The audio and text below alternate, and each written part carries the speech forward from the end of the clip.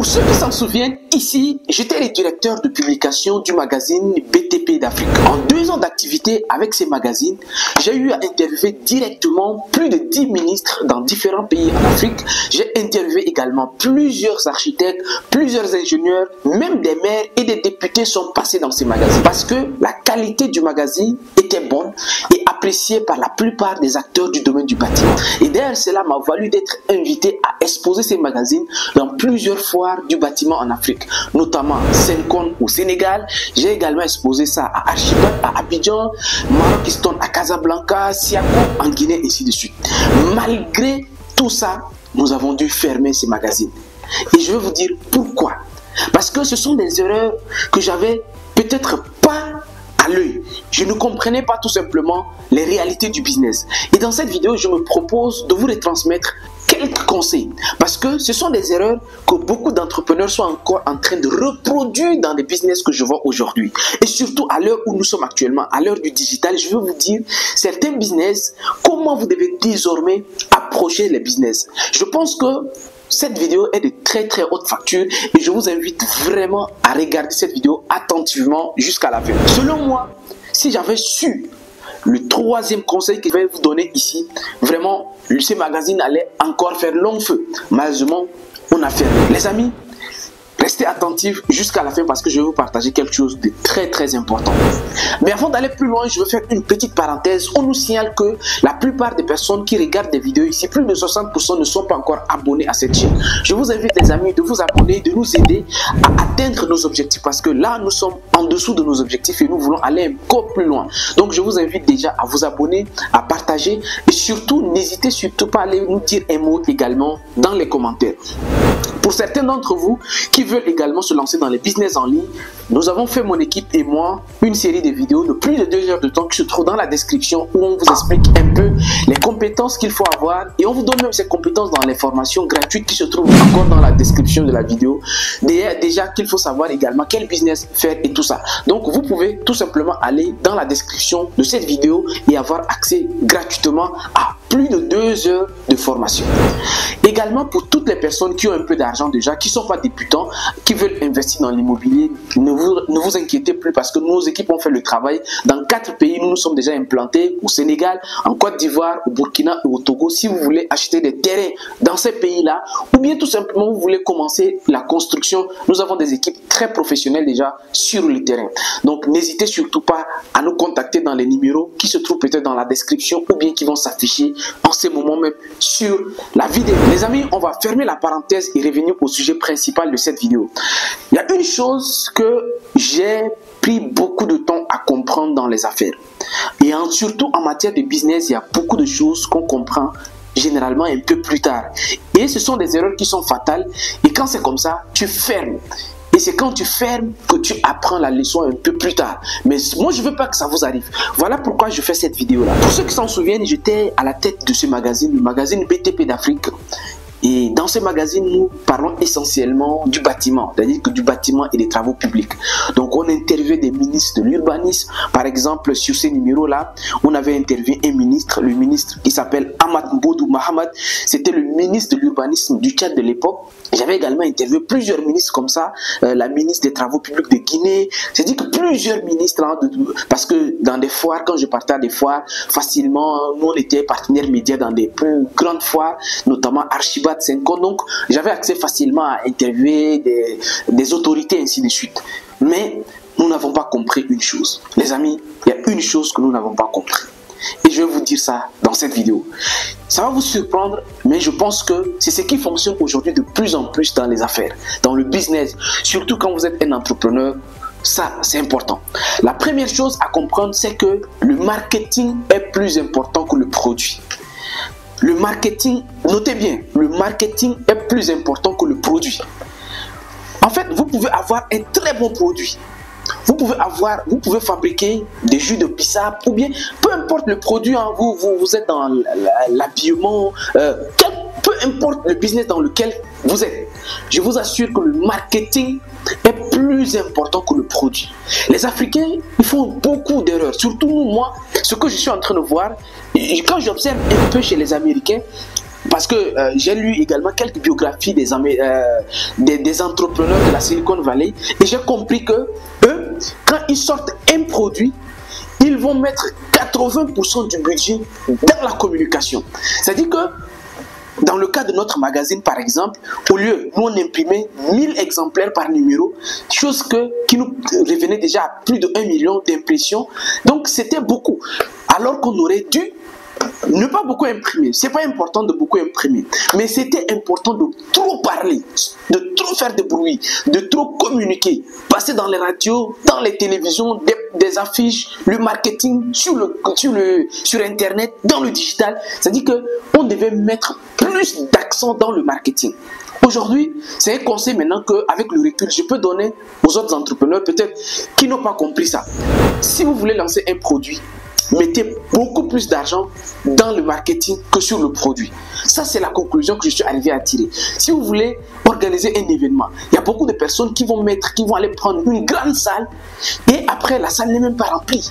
Il y a des gens, vont aller coudre 10 modèles de vestes pour venir commencer le business alors qu'il fallait juste coudre deux. Et le prix des huit autres, c'est pour communiquer. Parce qu'en réalité, quand tu crées la communication, les gens vont venir vers toi pour en savoir plus. Et c'est en ce moment seulement que tu peux imprimer le plus. Donc, vous devez comprendre ça vraiment très, très, de façon je sais pas comment vous expliquer, mais c'est ce qu'il faut comprendre. Moi, je l'ai compris. Maintenant, si vous, peut-être vous avez une autre manière de faire, dites-moi. Mais moi, c'est ce que j'ai compris. Et quand j'ai appliqué ça dans d'autres activités, c'est ça qui marche mieux. C'est-à-dire que maintenant, quand moi, je veux lancer un business, je commence d'abord par le marketing. Je commence d'abord à créer, parce que le marketing, c'est attirer l'attention des personnes. Attirer l'attention des personnes sur ton service ou sur ton produit. Il y a des personnes qui n'ont même pas de visibilité sur le produit qu'ils veulent lancer et ils se lancent dans la production, ils vont produire, ils vont importer de Alibaba, ils vont, voilà, ils vont amener les produits, ils vont aller prendre des bureaux pour les services, ainsi de suite. Mais on ne vous connaît pas encore. On ne vous connaît pas. Vous, devez vous pouvez même rester chez vous encore et mettre beaucoup d'accent sur le marketing. Faire du bruit, faire du bruit, faire du bruit. Jusqu'à ce que les gens commencent à dire, mais lui qu'est-ce qu'ils font au juste? Mais même si vous n'avez pas de produit en ce moment, c'est pas grave. Si en ce moment les gens, si seulement vous réussissez le marketing, c'est déjà bien. Parce que même si vous n'avez pas le produit, c'est déjà bien. Parce que les gens commencent à s'intéresser. Ah, qu'est-ce qu'ils vendent Lui, qu'est-ce qu'il fait? Quel est le service qu'il propose? Là, vous avez déjà réussi. Parce que quand les gens viennent vers vous, c'est plus important que d'avoir un produit et que personne ne connaît le produit. Ou bien vous avez un service, personne ne connaît votre service. C'est dangereux même. Moi, c'est ce que je pensais. Parce que pour moi, il fallait tout mettre, tout miser dans le produit. J'ai tout misé. La qualité, l'impression du magazine. Les journalistes, j'avais même un journaliste marocain qui était le rédacteur en chef. J'avais même beaucoup de journalistes qui dit que vraiment pas. J'ai tout misé sur le produit dès le début. Alors qu'il fallait beaucoup miser sur le marketing. Quand tu mises sur le marketing, ça va plus vite que celui qui va prendre perdre son temps à miser toute son énergie dans le produit. Les amis, le marketing, je vais refaire une autre vidéo où je vais vous expliquer concrètement c'est quoi le marketing. Je vais le faire peut-être en 15 15 minutes maximum pour vous expliquer un peu le marketing dans les détails. Mais le marketing, je pense qu'en un mot, le marketing se résume avec euh, l'acronyme AIDA. AIDA, donc allez-y chercher maintenant. Donc AIDA, c'est attention, susciter l'attention, euh, attirer l'attention des gens, susciter l'intérêt, ainsi de suite. Ça, c'est voilà. Il y, a, plusieurs acronymes euh, qui tournent autour. Mais moi, je vous dis quelque chose de très simple. Le marketing, c'est attirer les personnes d'abord vers toi. C'est très important. Deuxième chose que j'aurais dû comprendre un peu plus tôt, c'était que une entreprise ne peut jamais survivre sans vente. Vous pouvez, c'était bien, hein. c'était bien, on était dans des foires, je voyageais, euh, on me donnait des invitations parce que euh, on avait un site internet, il y avait ces magazines-là, donc vraiment qui était bien, les gens nous invitaient à, à leur foire, euh, on, on, exposait, on avait des interviews, les ministres qui, acceptaient facilement qu'on venait les interviewer, voilà, c'était bien, c'est-à-dire qu'on était cool, c'était bien, c'était pour faire du bling bling, parce que c'était bon, voilà, c'était bien. Malheureusement, malheureusement, si tu ne vends pas, tu vas disparaître.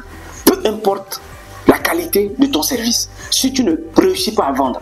Voilà pourquoi il y a un des membres de... lui, c'est un très grand vendeur euh, du Burkina. Lui, dit que Une entreprise ne va jamais fermer ses portes parce qu'il n'y a pas de produits. Ou bien une entreprise ne va jamais fermer ses portes parce qu'il n'y a pas de gens qui travaillent. Non, ça, on en trouvera toujours. Mais l'entreprise va fermer ses portes parce qu'il n'y a pas de vente. Il n'y a pas de vente, tu vas fermer. Tu montes, tu descends, s'il n'y a pas de vente, tu fermes. Même si tu as les bons éléments derrière toi, même si tu as le bon produit, si tu n'as pas de vente, tu fermes. Tu mets la clé sous la porte. Et ça, il faut le comprendre. Donc, quand vous voulez venir avec un business, voilà pourquoi mon conseil sur la vente, mon conseil le plus simple sur la vente, vendez ou bien trouver des produits qui vont résoudre un réel problème. C'est-à-dire qu'il faut avoir, il faut vendre un produit où le problème est réel et dont les gens seront prêts te donner de l'argent. Si ton produit, les gens ne peuvent pas te donner de l'argent, peu importe la qualité de ton produit, mais si les gens ne sont pas prêts à te donner de l'argent, malheureusement, tu vas fermer. Tu vas tout simplement fermer. Donc ça également, c'est un aspect très très important que je veux que vous preniez en compte. Si vous voulez également, d'ailleurs j'ai fait déjà quelques vidéos sur la vente, mais là, ce sont des choses que j'ai compris plus tard que je viens vous dire ici vous allez fermer. Pas parce que vous n'avez pas des gens qui, travaillent, ou bien pas parce que vous n'avez pas de produits, mais tout simplement parce que vous ne vendez pas. Troisième conseil que je vais vous donner au sujet des leçons que j'ai appris un peu plus tard, appris un peu plus tard dans le business, c'est que le sommet du business, c'est la fidélisation. Le plus haut niveau dans le business, c'est la fidélisation. La fidélisation se passe par plusieurs endroits, par plusieurs stratégies. Mais dans la fidélisation, le plus important, c'est l'abonnement. C'est-à-dire que si vous avez un business où vous réussissez à abonner les gens, une des choses que je n'ai pas réussi à faire ici, c'est que je n'ai pas réussi à abonner les personnes. Alors que quand je vois d'autres magazines, d'autres journaux qui réussissent ça, c'est parce qu'ils ont, ils ont abonné les gens. Les amis, quand la crise va venir, quand les problèmes vont venir, les seules entreprises qui vont subsister, qui vont traverser la crise, seront des entreprises qui ont des clients fidèles. C'est-à-dire qui ont des clients qui ne se déplacent plus. Ils ne cherchent plus à convertir les clients là. Les clients sont déjà là. Et même quand il y a crise, vous allez voir que ces entreprises vont traverser la crise sans problème. Parce que ils ont des personnes fidèles, ils ont des consommateurs fidèles, ils ont des utilisateurs fidèles qui vont les accompagner. Parce que en temps de crise, je vais vous donner un exemple très simple. En temps de crise, si la société fait face à, la crise de trésorerie, par exemple, dit qu'il n'y a pas suffisamment d'argent pour faire rouler la société, ce que les grandes entreprises font, c'est quoi? Ils contactent les meilleurs clients et ils les font des offres. C'est comme ça, la plupart. Et d'ailleurs, c'est ce que nous on fait. Par exemple, dans le business de la santé, à chaque fois qu'on veut atteindre un certain objectif et qu'on s'approche de la fin du mois et que l'objectif n'est pas atteint, qu'est-ce qu'on fait? On appelle les meilleurs clients et on les fait des offres.